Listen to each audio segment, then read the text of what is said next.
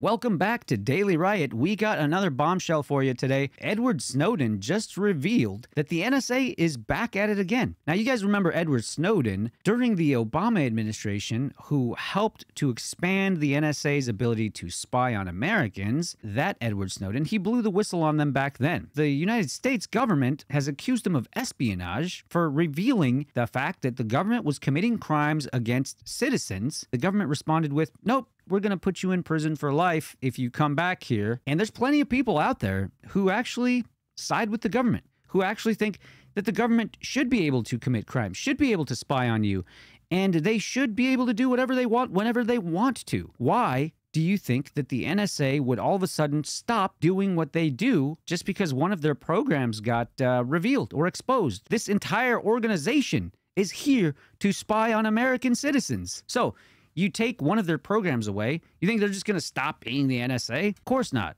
So they found a loophole to basically violate your privacy again. They've decided to buy this data from commercial outlets, organizations that do data collection. The NSA decided, you know what, it's easier. Let's just go ahead and buy this stuff from them. Here's an article by the New York Times NSA buys Americans' internet data without warrants. There's a reason the government needs a warrant in order to get your data. The Constitution has provisions in there to stop the government from spying on you. The NSA says, no, we need to spy on you in order to protect you.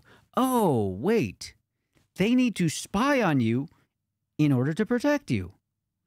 Let's see, if we say that several more times, maybe it'll make more sense. That is the reasoning of the NSA. In fact, anytime anyone ever says, I'm doing this to protect you, anytime politicians specifically say this, rest assured, that's code for get ready because we're going to screw you.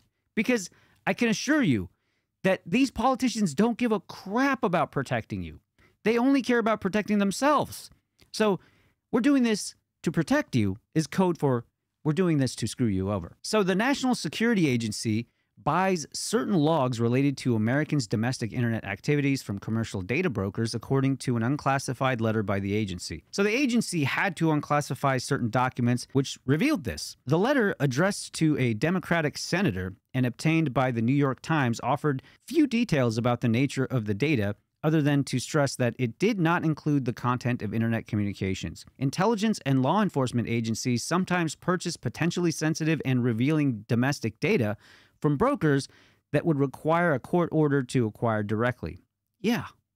Yeah. Because, you know, that pesky thing called the Constitution, a lot of people just hand over their data without thinking about it. It's absolutely dangerous, and the potential for further abuse hasn't even been realized yet. We're just entering this age where your data being in the hands of organizations is going to end up harming you. It's never, ever going to end up helping you in any way, shape, or form. It's only there to harm you. Here's an article, and it's from CNBC of all people, who are saying here are the five risks of sharing your DNA with consumer genetic testing companies like, you know, 23andMe. People just freely go, you know what? Here, here's my genetic data. Let me just hand it over to you guys. What can come of that? Well, just recently there was a huge hack. I think 23andMe got hacked. The majority of their database was stolen and is being sold online for various governments to be able to buy, people who may hate us. Who knows? Who knows? But what are some things that can happen? Well, you're always going to get the washed down, watered down version of like, how is this a good thing?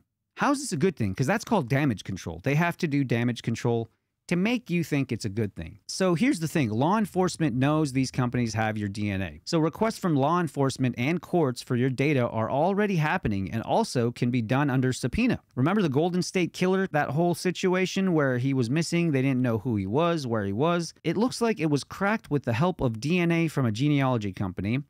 Catching a murderer is a good thing, but the ability of law enforcement to target your DNA through these testing companies is a big issue. Darnovsky noted that in the Golden State Killer case, law enforcement found their way to the suspect by using DNA from relatives.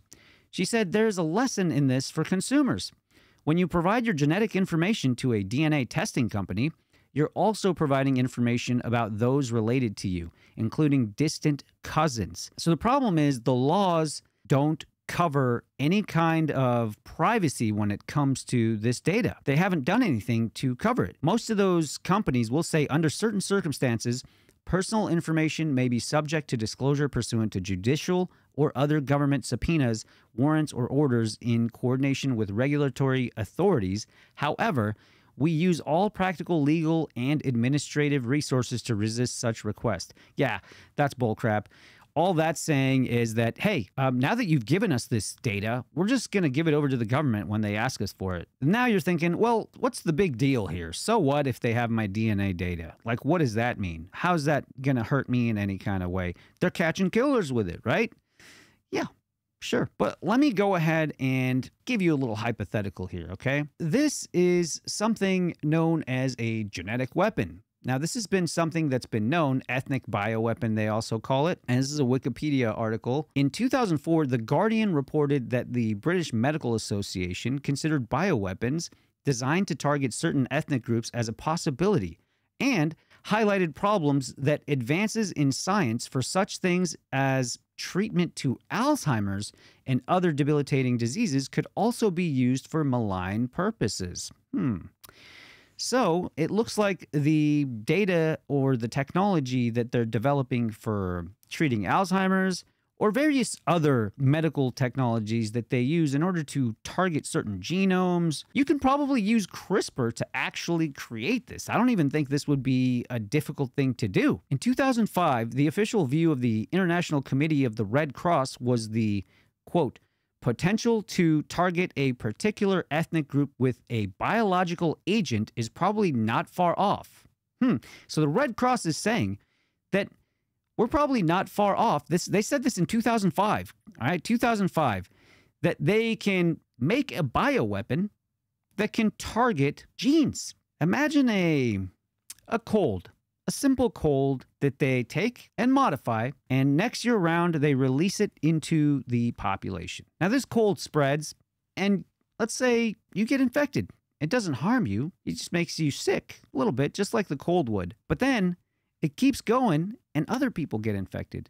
And when a certain person with a certain genetic marker gets infected with this cold, guess what happens? Well, it starts to act differently on that person and basically takes them out of the game. Imagine that spreading worldwide and absolutely wiping out certain ethnicities that they have chosen, or it doesn't even have to be an entire ethnicity, it could be subgroups. They can choose to target certain types of genomes and take those people out. The potential to target these ethnic groups, these scenarios, are not the product of the ICRC's imagination, but have either occurred or been identified by countless independent and government experts. Now, this is the Red Cross saying this in 2005 that they've already seen something like this happen and they've already been identified by countless independent government experts. So they have it. So, why would it be a bad thing to just give your information, your genetic information, to, I don't know, 23andMe?